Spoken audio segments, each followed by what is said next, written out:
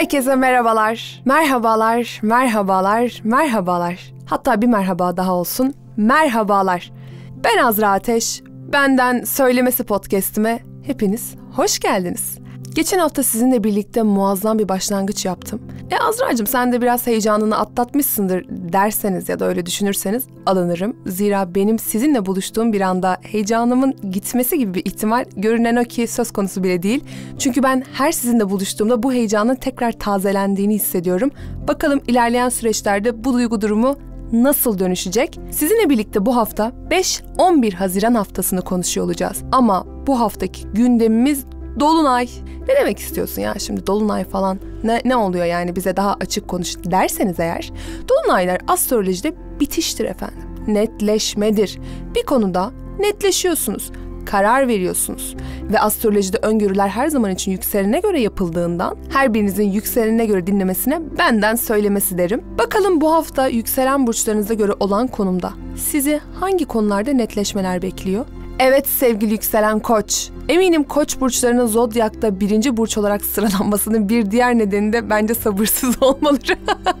yani Allah korusun koçları beşinci sıraya falan alsaydık muhtemelen bir gelmedi ya hadi artık bahset falan. duyabilirdik. Duysaydık da şaşırmazdık. Sakın bana nereden biliyorsun diye sormayın. Belki ilerleyen dönemlerde söylerim. Gelelim koçların netleştiği konulara. Yay burcunda olan Dolunay sizin belli ki felsefe, dünya görüşü konularında bir takım netleşmeye getiriyor sizi. Belki uzun zamandır araştırdığınız bir konu var. Bu konuda bu gündemle ilgili inançlarınızla ilgili bir netleşmeye gidiyorsunuz. Bunun yanı sıra akademide falan gündemleriniz varsa, felsefe konularıyla ilgileniyorsanız, akademi konusunda ne bileyim bir makaleniz yayınlanır mübarek olsun. Ah, bu zaten akademideki bir insan için yeterli bir sürpriz. Teziniz onay alır. Üniversite işleriyle uğraşıyorsanız güzel bir süreçte netleşirsiniz, bir karara bağlanırsınız. Sürüncemedir, öyle mi yapsak, böyle mi yapsak diyorsunuzdur. Artık bir nefes alacağınız zamandasınızdır. Yok efendim benim akademiyle ilişkim falan, ben evimde oturuyorum da diyorsan eşinle ilgili akrabalarda güzel gündemler olur. Bir netleşmeye gidersin. Bir sürüncemede konunuz varsa öyle mi yapsak, böyle mi yapsak o masaya oturup artık netleşme hakim. Bunun yanı sıra yurt dışına çıkmak istiyorsundur. Yurt dışında vize başvurusu yapmışsındır. Bu konuda bu 15 gün içerisinde bir, bir takım haberler gelebilir. Hukuksal süreçleriniz varsa bu süreçlerde de netleşebilirsiniz ve sosyal medya, yayıncılık gibi konularda da bir netleşme, bir şeyleri artık kontrat haline getirme ve karar alıp tamam ya da devam deme enerjiniz var. Zaten bu haftadaki konunuz özellikle aile ilişkileriniz. inanılmaz düşünüyorsunuz. Bir takım kısa seyahatler yapabilirsiniz. Bu da size çok iyi gelebilir. Benden söylemesi. Diyelim ve gelelim yükselen boğalara. Yükselen boğa şu anda size sizin kadar sakince davranıp sakin bir şekilde olayları anlatmak isterdim ama gündemlerimiz yoğun. Özellikle parasal süreçlerle ilgili nafaka bekliyorsundur. Ortaklarınla ilgili para vardır. Ortaksal anlamında ortak yaptığın eşinden gelen paradır, ailenden gelen mirastır, bankadan gelen paradır, nafakadır, tazminattır vesaire bu konularla ilgili beklediğin bir gündem varsa netleşmeye gidiyorsun. 15 gün içerisinde bir netlik hakim Zaten hafta genelinde de bütün odan kendi paranda. E bir de Dolunay senin ortaklı paralarına bir destek atıyor, bir netleştirme getiriyor. E dolayısıyla demek ki bu ara biraz akıl fikir parada. Kendi kazançlarını düşünüyorsun. Yatırım mı yapsam, ticarete mi atılsam, bir şeyler mi geliştirsem gibi gibi böyle kafanda fikirler olabilir. Bu hafta senin için parasal anlamda güzel gelişmeler yaşayacağın bir hafta. İyi değerlendir. Eğer beklediğin dışarıdan gelen paralarda gelir mi gelmez mi diye kendine sıkıntı yapıyorsan da bu sıkıntılara karşı bir rahat nefes al. Çünkü güzel gündemler senin yanında. Benden söylemesi. Umarım bir boğa huzuru vermişimdir size. Gerçi bir boğa parayla mutlu olur mu? Olur yahu. Kim kendi kazandığı paradan mutlu olmaz ki? Diyeyim ve yükselen ikizlere geçeyim. Yükselen ikizler hangi konuda netleşmeler yaşıyor? Ya canım yükselen ikizler ya. Sen bu dolunayda netleşeceğin enerjiyi ikili ilişkilerden mi alıyorsun? Tamam böyle aşk ilişkilerinde belli fırsatlar olmuş ama ya tamam ya devam diyorsunuz. Bazılarınız ya biz ne güzel bir ilişki sürecinden geçtik. Flörtümüz şahane. Biz anlaşıyoruz artık. Ha, laf arası şöyle bir reklamımızı da yapayım. Çift terapisine de gittik. Aman Allah'ım harika bir çiftmişiz ya. Biz gerçekten uyumu yakaladık falan da diyorsanız. Tamam güzel düğün kararı alırsınız. Ama bazılarınız da bu ilişki bizim bilinç dışı süreçlerimizle alakalıymış. Biz birbirimize hiç yaramıyormuşuz. Sen de bana zarar getirdin, benden aldın. Ben de sana zarar verdim. Hadi eyvallah da diyebilirsiniz. Hayattaki her şey bizim için arkadaşlar. Bunu da unutmayın. Her zaman da evlilikte çalışmıyor tabii bu konu. Bakmayın eğer size böyle aşk konusunu falan fazla açtıysam bu biraz benimle ilgili de olabilir. Bazılarınız ortaklardan yana netleşmeye gidecek. Ben bu ortakla çalışırım, çalışmam. Bazı açık düşmanlarınızla ilgili de gündemler olabilir. Pat diye karşınıza çıkıp ben bunu bunun için bunun için yaptım da diyebilir. Bunların hepsi birden olabilir ya da tek biri çalışabilir. Bazen bende hepsi çalışıyor. Bazen tek bir tanesi çalışıyor. Yani bu hafta sizin için hatta bu hafta ile itibaren ilk iki hafta sizin için biraz karar haftası gibi görünüyor ilişkilerde. İlişkilerini bir adım daha ileri taşıyanlara şimdiden mübarek olsun diyorum. Şimdiden kutluyorum efendim. Ama bitirenlere de bir omuz benden ağlamak serbest. Yeterince ağladıktan sonra yeni ilişkiler elbette sizden yana olacak. İlerleyen haftalarda bunu ele alıyor olacağız yükselen ikizler size borcum olsun. Ama parlıyorsun, enerjiler sende, keyifler şahane. Bu haftadan itibaren alkışlanacağın bir sürece geçiyorsun. Zaten yeterince taktığın kafayı ilişkilerdir, uykusuzluktur, ben bunları niye yaşadım gibi süreçlerin olmuş olabilir. Nefes al ya, bu hafta sende. Seviliyorsun sevgili yükselen ikizler, şansın bol olsun. Umarım pek çok yükselen ikizlerin güzel gündemlerini duyarız. Diyeyim ve Hemen yengeç burçlarına geçeyim.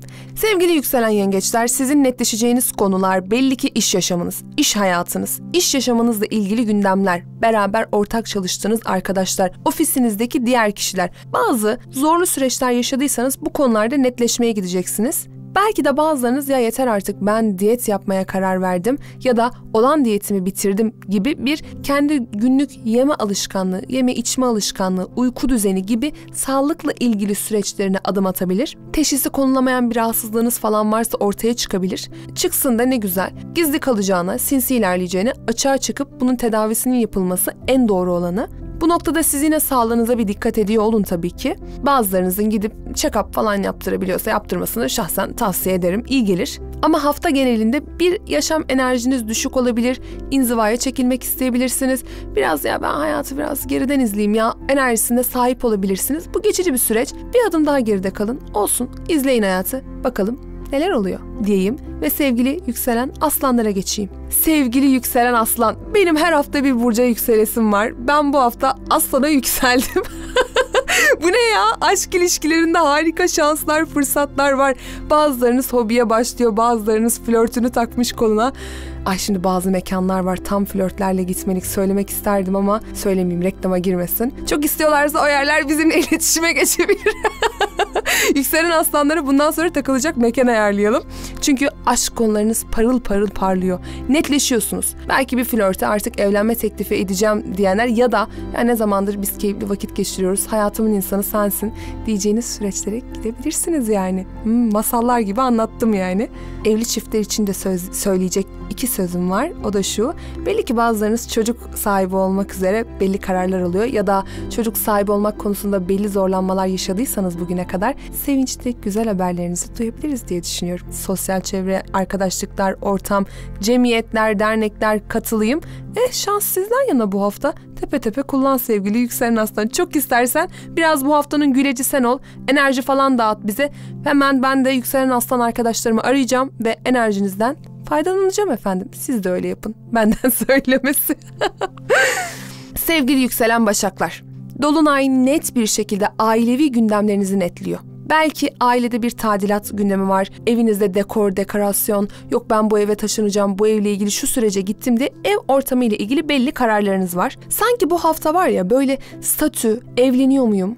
İşte belli bir statüm var terfi alıyorum. Bu terfiye bağlı olarak evimi değiştiriyorum. Ya da evimin burada olması konusunda netleşiyorum. Statümü şuraya taşıyorum gibi gündemleriniz var. Vallahi çok güzel. Bir insanın statüsünün artmasından daha güzel hangi haberler olur dersem. Tabi buluruz onları. Size borcum olsun. Her hafta bu, bu, bu borç haftası maşallah. Yükselenlere borç dağıtıyorum şu an. E zaten güzel gündemleriniz var.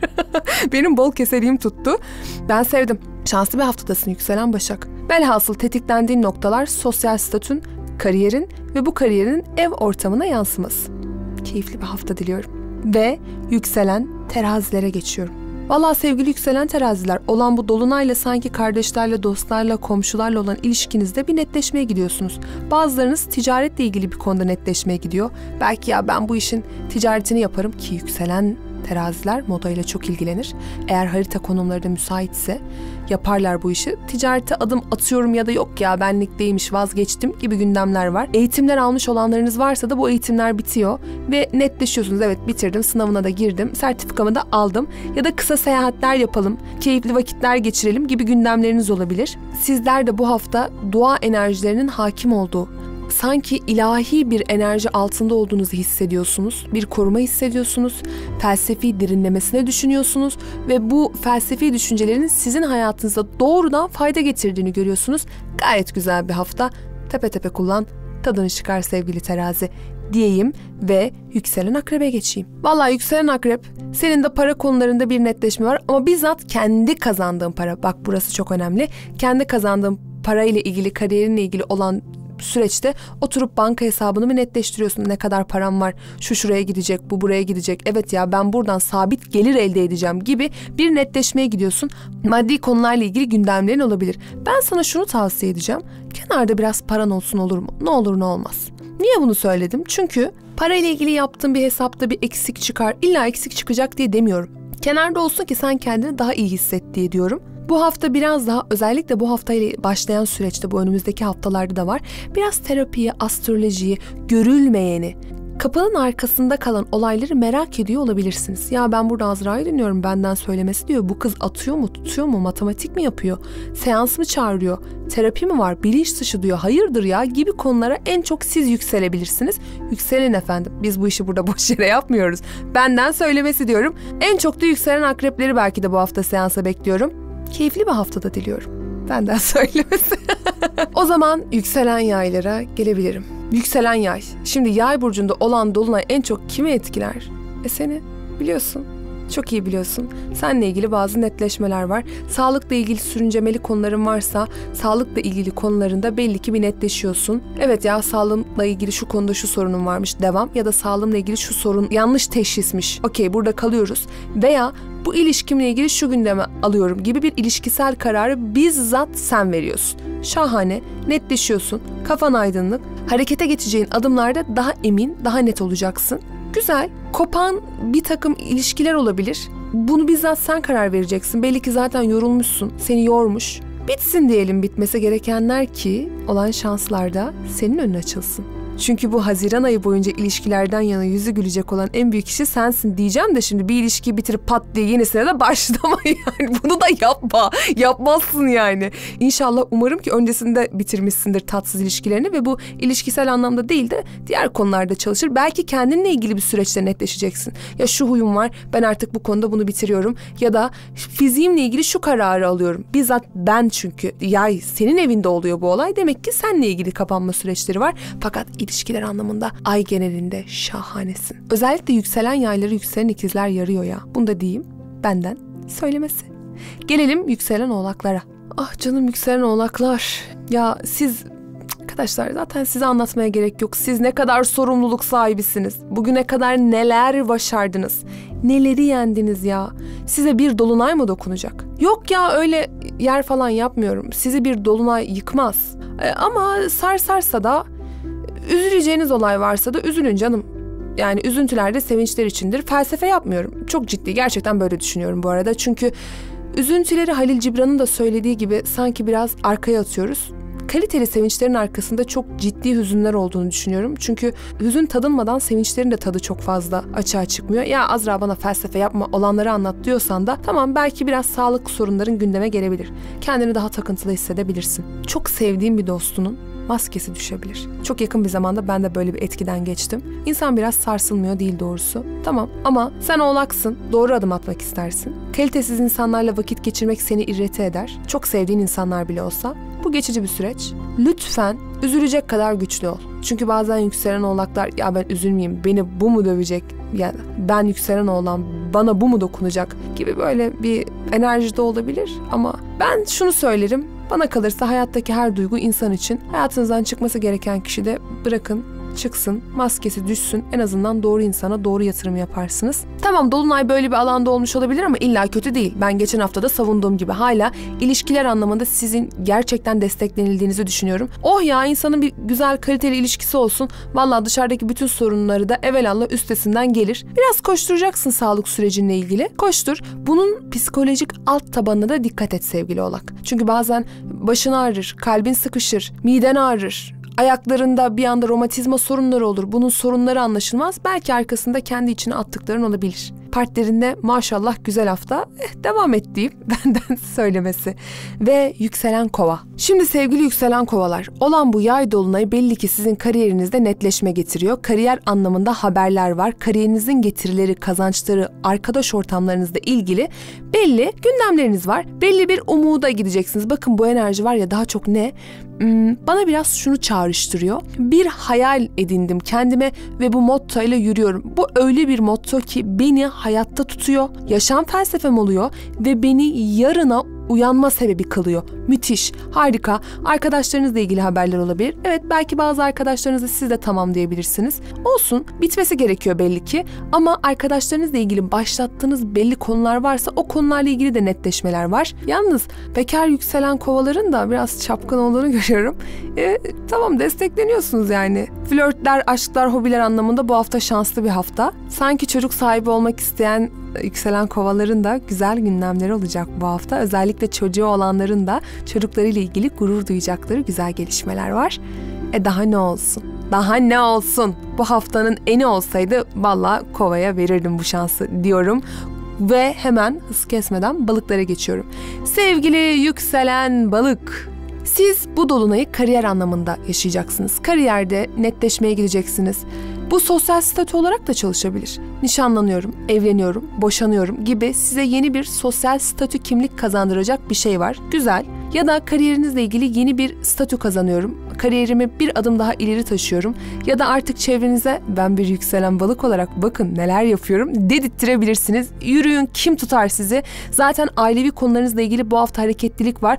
Bence bu haftanın sonunda balık ve başaklardan, ikizler ve yaylardan belli böyle adım atılacak ilişkilerle ilgili bir adım ileriye gidecek gündemler gelebilir. Hafta sizin olsun. Mutlu olun, huzurlu olun. Keyfinizi kaçıran enerjilerin üstüne gidin. Bastırmayın, fevri de olmayın. E daha ne olsun. Sizleri seviyorum. Haftaya görüşmek üzere diyorum.